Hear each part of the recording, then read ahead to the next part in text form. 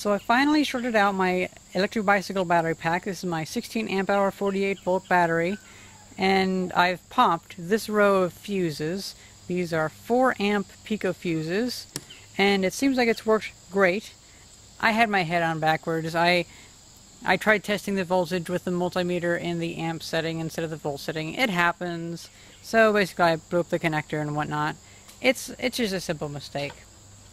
Well, I went through and ch checked all these fuses. Some people have asked, how do you check the fuses? Well, simply you just check them with like that. And of course the ones that are broken don't have any power going through. And there's no actual voltage from the batteries on here.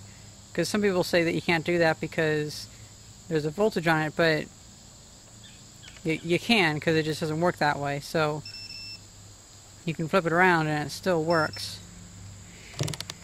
So I've gone through and tested all these and I found it's these ones. I think I can go and start pulling a couple off.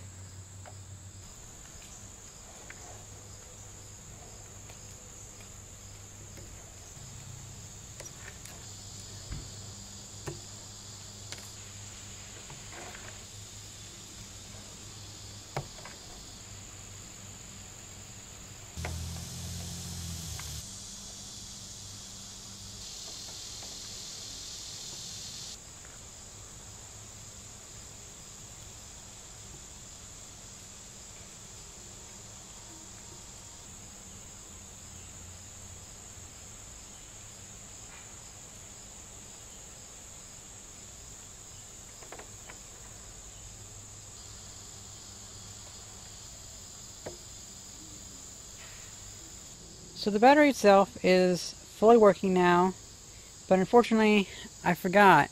I shorted it through the charge connector, so basically I blew up the BMS. But this BMS was pretty much on its last leg because it was only charging to about 3.8 volts anyway, so I guess it's about time I replace it.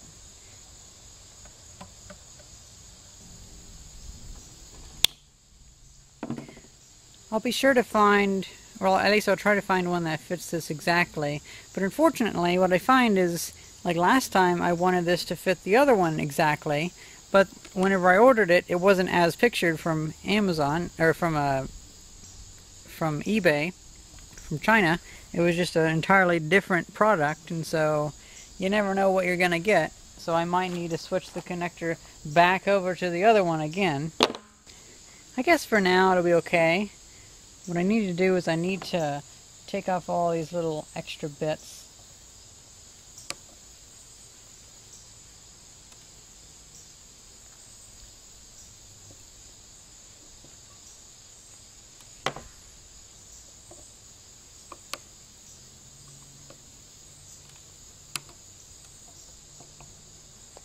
And then I lay these down flat.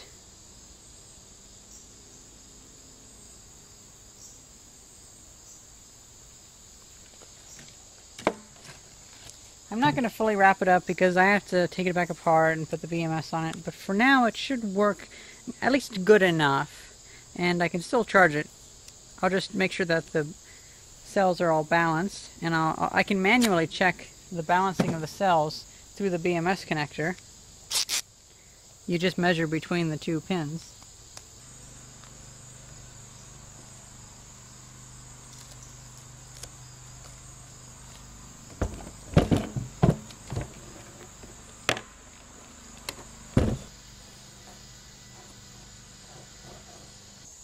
The way I see it, I almost always have a pillow around the battery now, so I don't need nearly as much protection for the actual cells. And so they should be able to handle this for at least a little bit. And this box may be on its last legs also. I find with all the bumpy roads I go over, the, the edges keep popping out. But I guess it's good enough for now.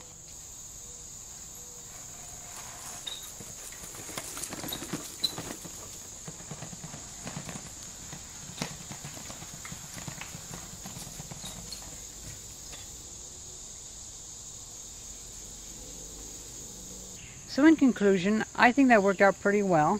I mean, at the heart of it, I fucked up and I caused the problem, and the battery handled it okay. The BMS didn't handle it okay, but it's a $10 BMS, so what do you expect?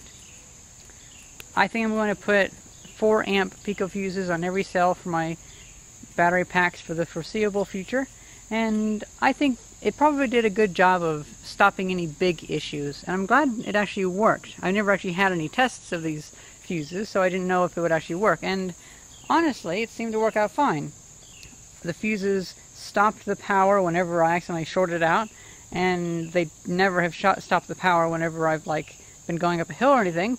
So it seems like it's at it's at least enough capacity to handle anything I can do while riding the bike.